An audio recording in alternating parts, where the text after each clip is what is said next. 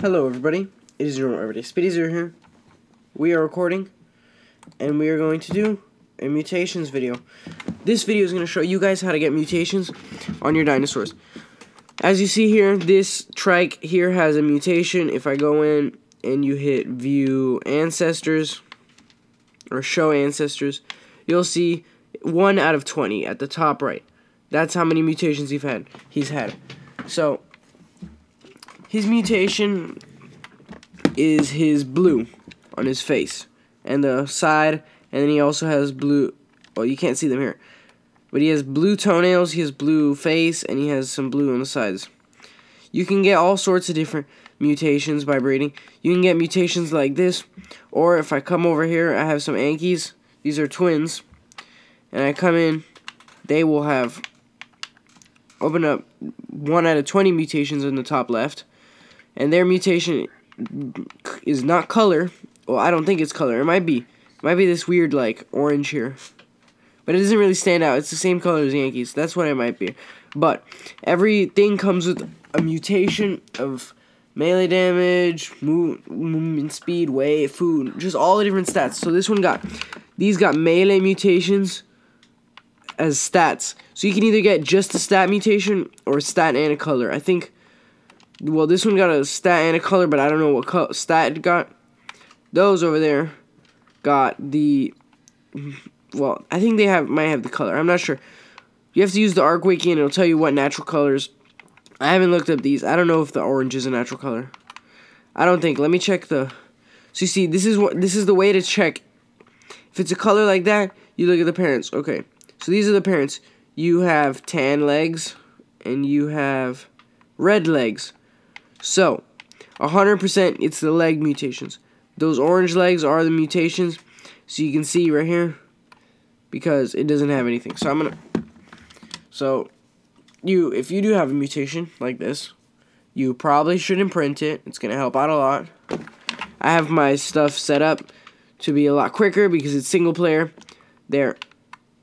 So, if you were doing it, I would recommend setting it up as well, setting it up with better rates for single player.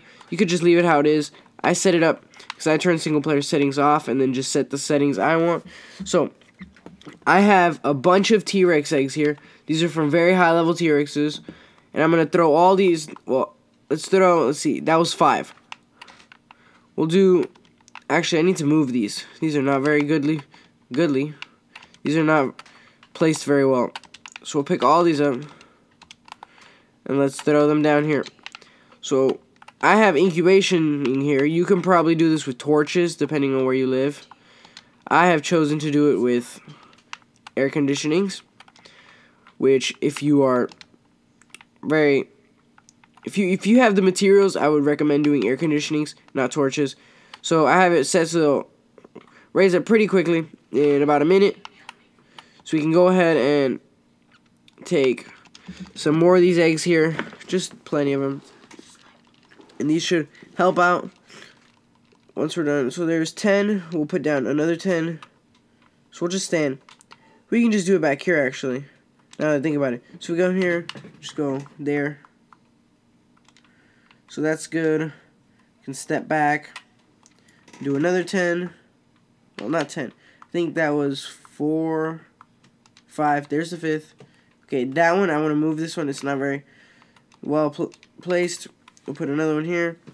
So by the time we start doing this, some of these eggs should start popping, and we should see if we have mutations. So right now I can just take the rest and put back the berries. I have enough weight. So here, we have plenty of Rex eggs here. This takes a very long time to do on official. So if anybody's doing this on official, yeah, it takes like a long time to get this many Rex eggs. Oh my goodness, I don't even want to try. I have it set so it's like a minute to three minutes. They have to wait in between each braid. So here are some. So that was very good because straight off the bat we got an orange mutation, which was not expected. So there. Now I'm gonna have to bring all these over here, and ew, this is gonna be tough. Come here. Come here. It's baby T-Rexes. so what you want to do in your babies, you go in, you disable wandering, and turn your follow distance to the lowest. It helps out a lot. So disable wandering, follow distance to the lowest. You got to do that with all of them. Oh, okay.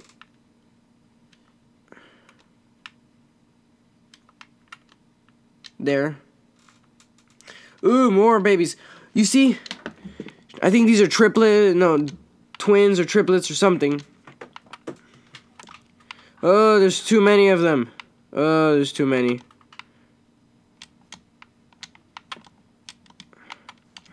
Oh, there's so many of them.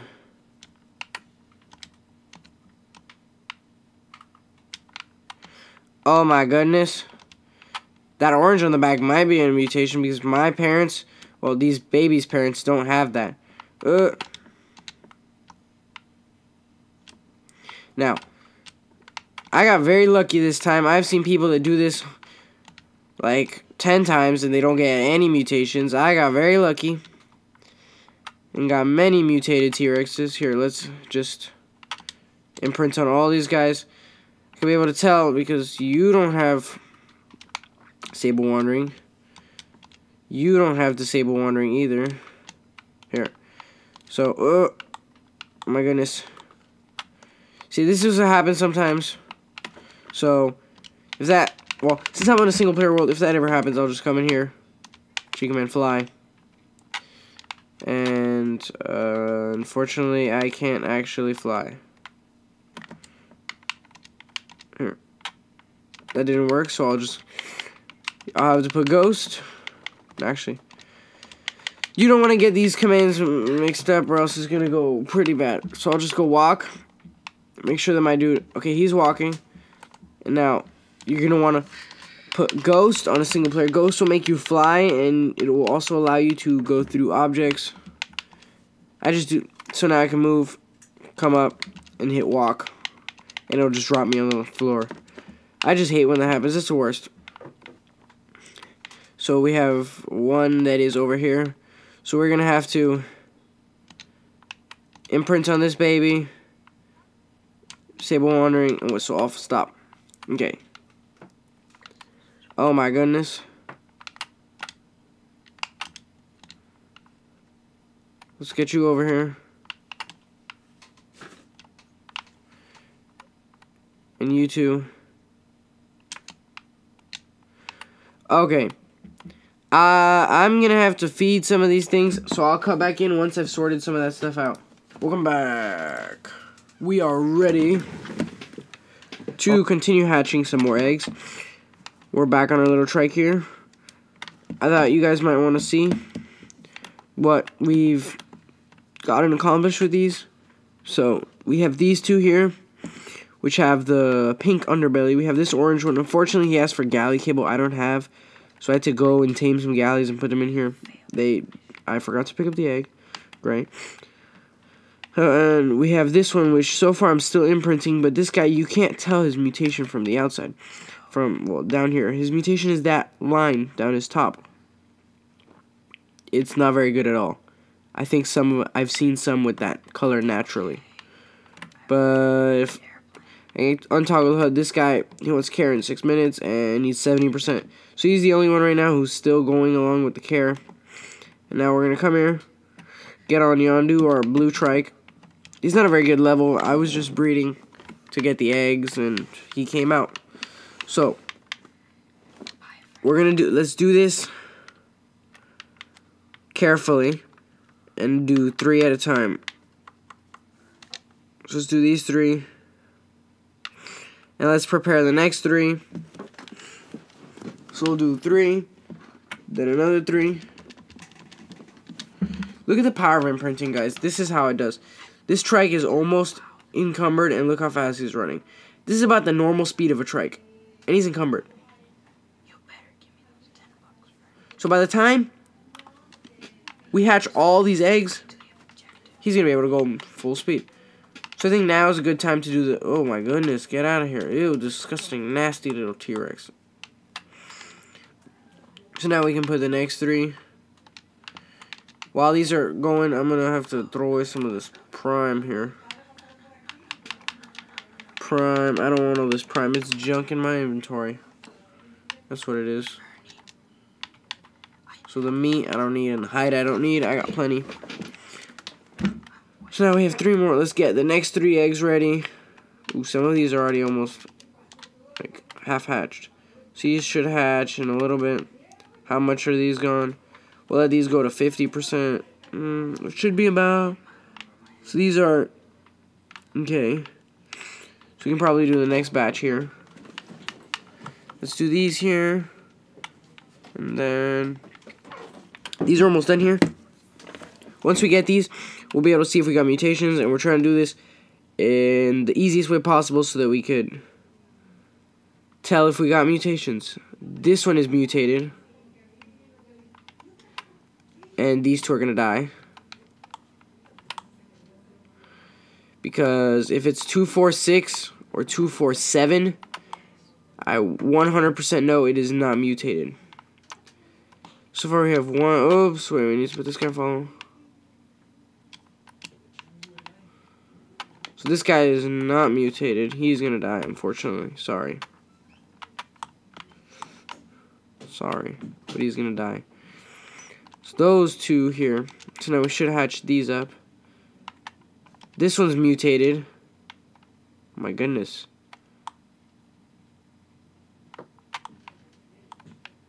No, did I hit the air conditioner? So basically, if it's 246 or 247, then we 100% know it is mutated. Not mutated. So I know, I know he has a mutation. Oh, I leveled up. Whoa, great. health. Oh, okay. So you, sunny little T-Rex. Oh my goodness. I'm gonna whistle all and follow you. Just, just, just. Oh man, he's going mad.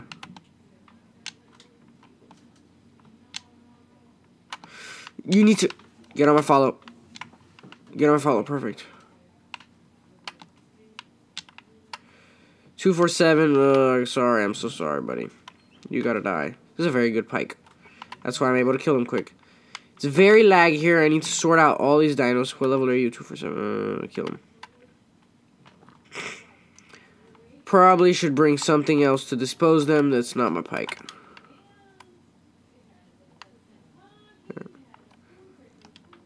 Now, we need to take this boy off wandering.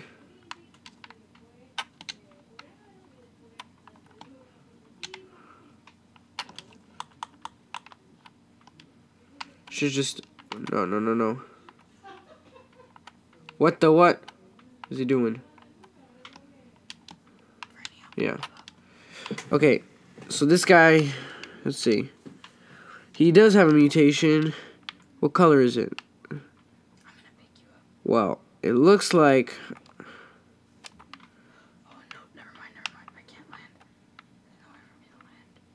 Oh, his stats are fine. Oh, that's you guys. Have you guys... Yay, they, they gave me another egg. Thank you.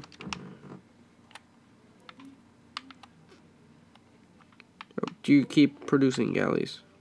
So now, you can see you, little boy, probably does not, yeah, 1 minute 55. That's fine. So we got one more egg here. So, so far, this mutation doesn't, can you tell, there's no color difference on it. There's, I don't see any color difference. So if we come in, he has the same health, the same... No, it was an oxygen... This guy got an O2 mutation. So, whenever I get a mutation, I'll normally put like this. O2 mutation. Mutation. Yeah, there.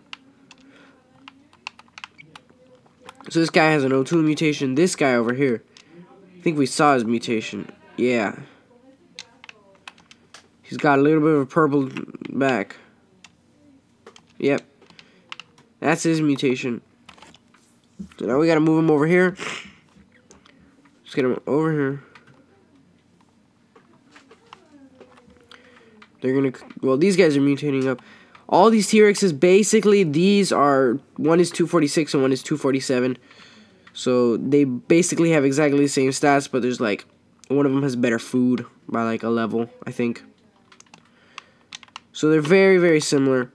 So that's why I'm saying if it's 249 it's well cuz I think a mutation goes up by 2 levels. I'm not sure. I think it does. Okay, so we're here. Let me. This is something that you should do with your some of your babies. Like, just uh, here. You get a dino like this. Well, not not like this, but just any dino. I'm gonna whistle follow. Whistle follow.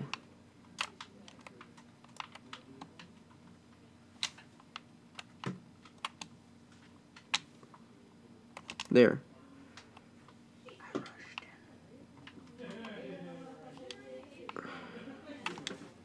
Oops. Whistle the wrong thing. So we'll put you to follow. And you to follow. I really don't want that O2 mutation, so you know what? Fortunately, we'll keep him. He's fine. This guy's follow distance is not changed.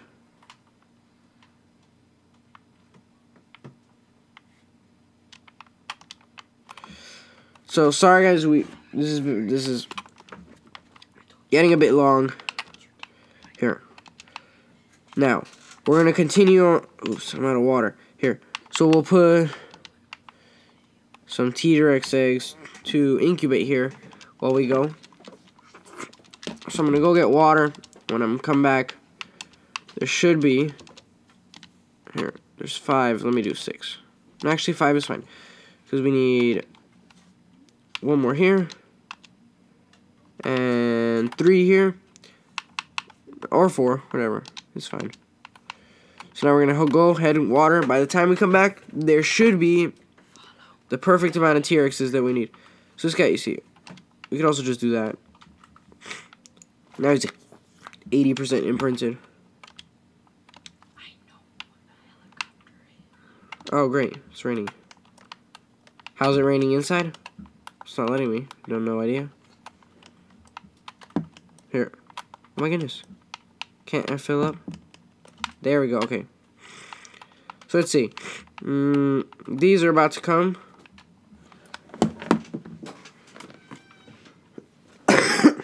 Sorry. We're, we have one, two, three. Okay. So now it should be about time to put the next set of three. And then we need to grab the griffin. I'm only claiming ones that are 248 or 47. Actually, you know, I shouldn't use the Griffin. I'm just going to use the Trike. Because we need those X we need that XP on my Trike. Mr. Yondu here.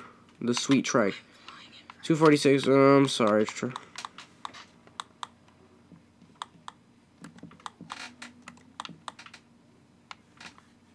Actually, you know what? Ooh. You're a color mutant. And... That's about it now. So what we can do is go, oh my goodness, I need to... Just, there we go. Kick some of these baby T-Rex butts. Oh my goodness, I can't kill him. There. It is about the same as my pike.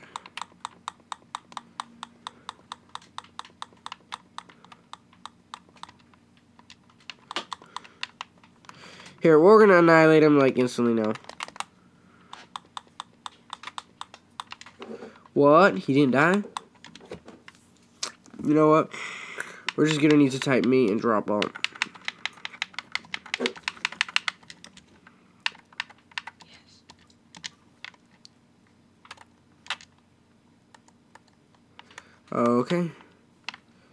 Oh, great. We lost that mutation. Now we're going to have to go grab the Quetzal over here. And go down. And grab the mutation. No? No, no, we're fine. Because we have green. Oh my goodness, guys. Look at this. Stinky mutations, like this guy. That nobody wants. Boom. And we get amazing mutations. Like this boy here. We'll leave that buddy alone. We need to disable wandering and oh my goodness, get off me.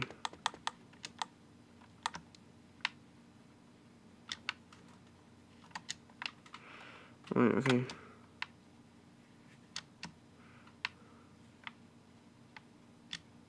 Now we're gonna get on the Easter Bunny and